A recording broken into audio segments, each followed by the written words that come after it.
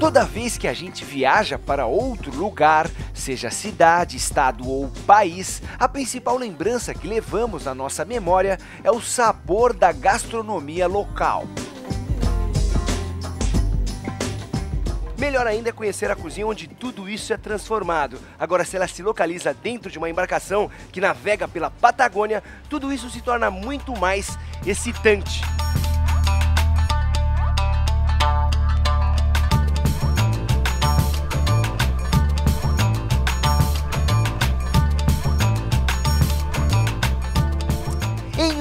Cruzeiro marítimo pela Patagônia, um dos lugares mais frios do hemisfério sul, a dieta consiste em um rico café da manhã, um gigantesco almoço e um farto jantar.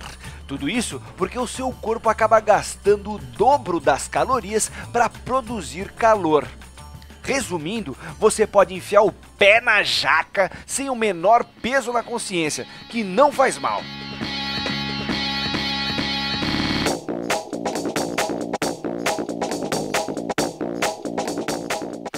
Vai nos ajudar nessa dura obrigação são os três maestros de la cocina. O primeiro é Mário Varria, que vai preparar um rico quiche de entrada. Vá!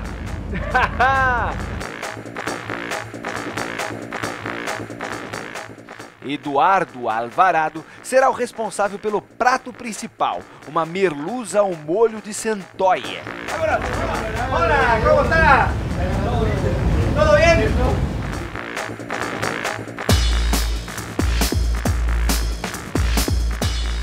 El Dagoberto Munhoz. É ele que vai fazer a gente sorrir no final com a sua torta de iogurte com framboesas e calda de calafate.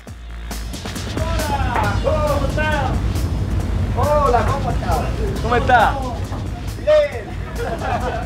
Hola, hola. Todo bem? E quem comanda toda essa balbúrdia é Mimi, a dona da cozinha e mulher do capitão. Aliás, sendo mulher do capitão, com certeza a comida tem que sair boa, não? Muitos amigos que han viajado de Brasil ou de qualquer parte do mundo, eles eh, saben que aquí se reciben con mucho cariño y se atiende también con mucho cariño.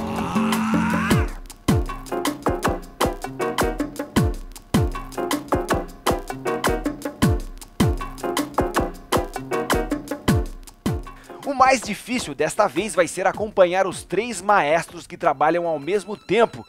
Tudo isso dentro de uma cozinha que balança o tempo todo. Afinal, estamos em um navio.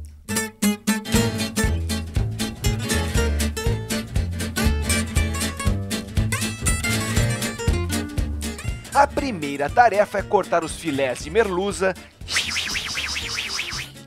temperando com sal e regando com vinho branco chileno, e levando tudo ao forno por 15 minutos.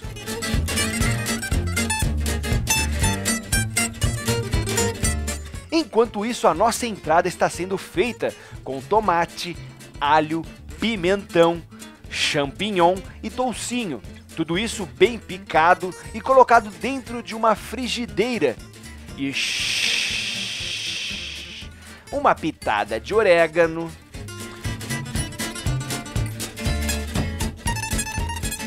E ao mesmo tempo, do outro lado da cozinha, o creme de iogurte já está quase pronto. Gema de ovo batida, gelatina sem sabor. Misture tudo e mais um pouco. E aí estão as framboesas. Hum... Depois disso tudo, o nosso doce vai direto para a geladeira.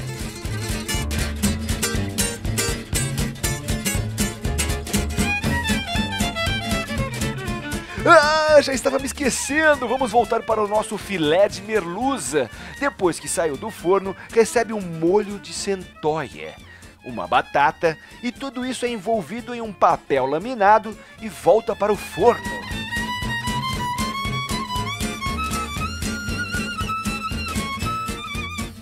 Alguns metros dali, Mario continua a fazer o quiche.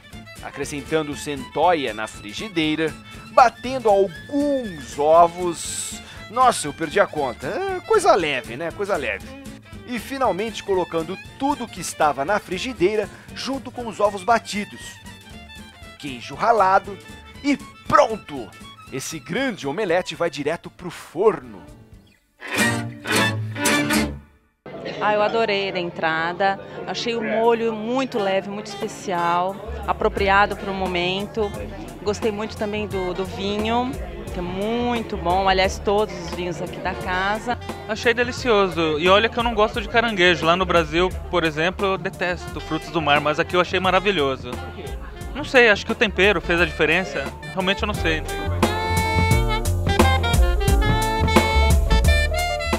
A minha resposta é essa, olha só.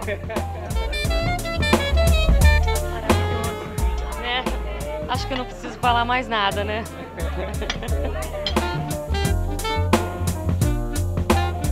Melusa também é um peixe típico do Chile.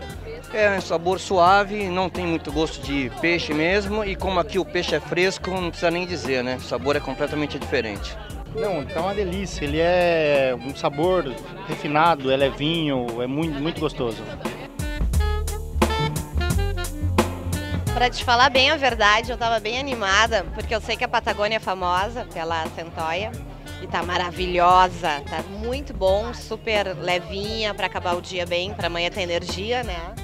E o vinho também tá bacana e tô surpresa com a qualidade da gastronomia daqui. Vale a pena.